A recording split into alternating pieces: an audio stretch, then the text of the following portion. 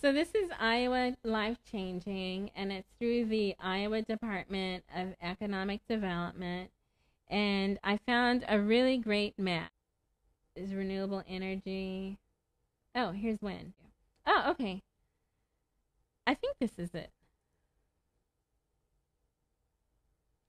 So this is the state of Iowa.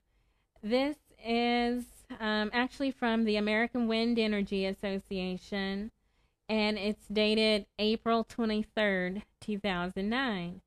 And it shows um, what was doing in terms of uh, wind energy, uh, in terms of its wind energy economy. Now, this is 2009, and so we're actually going towards the end of 2010, but I'm sure there'll be another study and a new map um, that shows e- an even greater increase.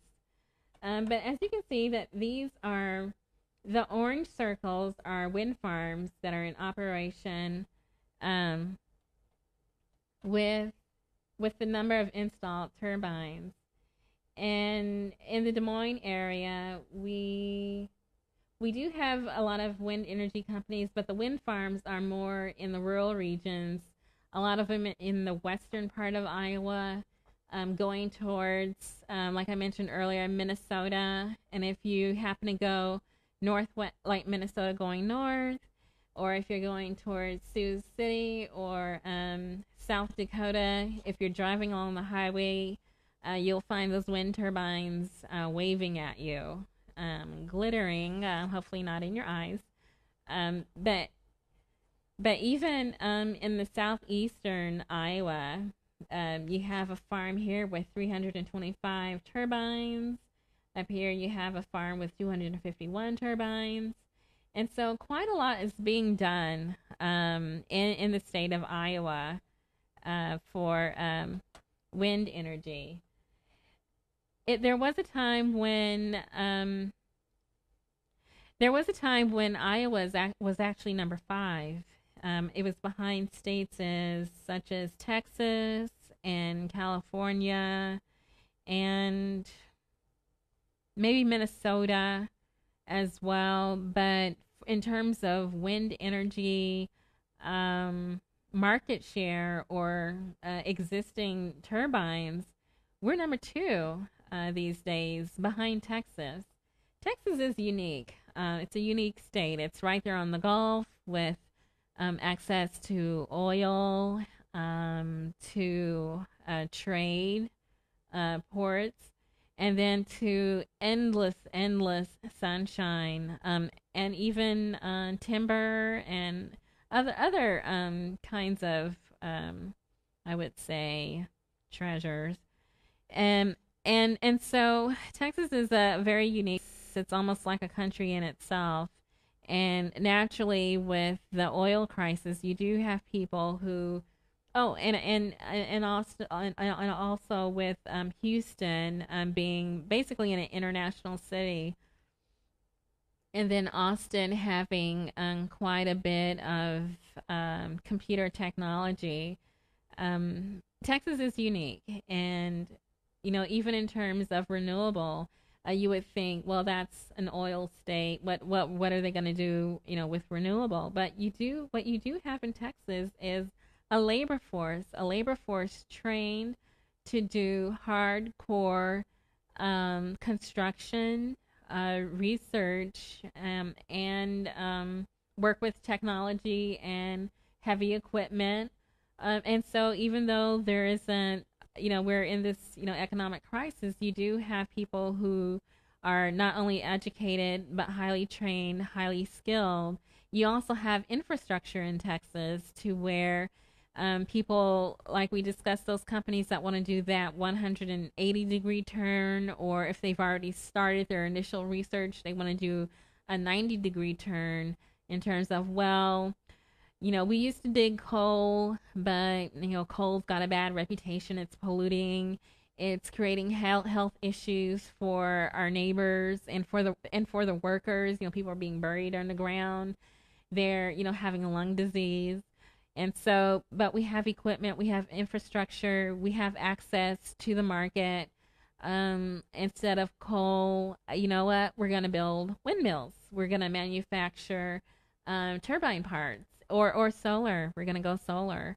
And so I think that's um, what's happening down in Texas. It's certainly happening here in Iowa where we have um, quite a bit of manufacturing in terms of John Deere, Firestone, Caterpillar, um, Pella, uh, lots of lots of traditional manufacturers who are saying, well, you know, we we know what we're doing in terms of building and creating and manufacturing.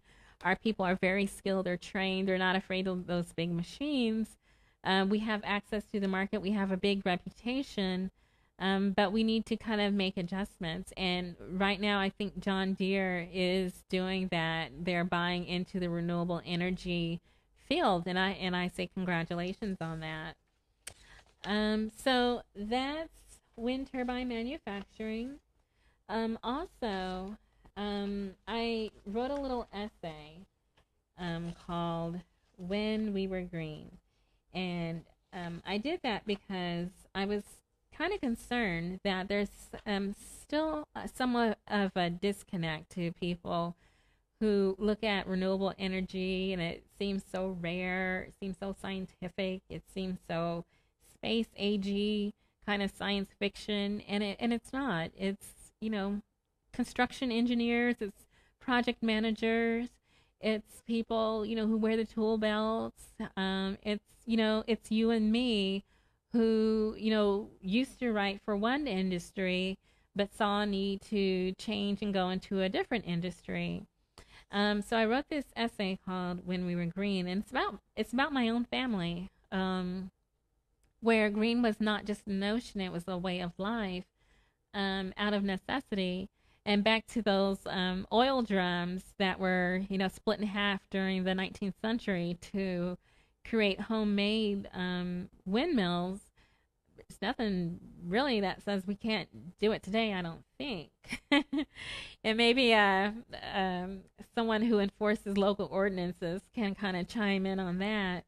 But I did have um, a family who made it through the Great Depression, World War One and Two rationing, um, a lot of chaos during the Jim Crow period and civil Civil War, uh, civil civil rights, um, uh, chaos, where they were able to sustain themselves because they were um, independent and um, very um, self self sustaining is what I want to say. They lived in the rural regions of the South, and they owned and operated a sorghum mill. They had big, um, vast fruit and nut orchards, and they raised timber, and they had their own industrial sized kitchen gardens of vegetables and herbs, at which they canned and they bred horses and raised chickens and pigs. And they had enough land to where they could um, fish and hunt for game. And so they were basically organic and free range and biodynamic before those, you know, were really internet search words. Only they didn't call it that, they called it common sense. Um, but you know, social, political, and economic upheavals came and went, and they were able to do all that back in the good old days. And I think we need to bring those good old days back and create some good new days. Um, thinking creatively and doing what we can on a personal level, um, regardless of what um, political leaders do. We can do what we can. I also had grandparents who turned on a dime that when it came to energy efficiency and recycling, everything had multiple uses. Nothing was thrown out. And they if they didn't grow it, they raised it and then they recycled it over and over. And so I think we don't need to go green. We just need to bring green back. Um, I heard there's that song, you know, bring sexy back. I think we can bring green back and be who we once were.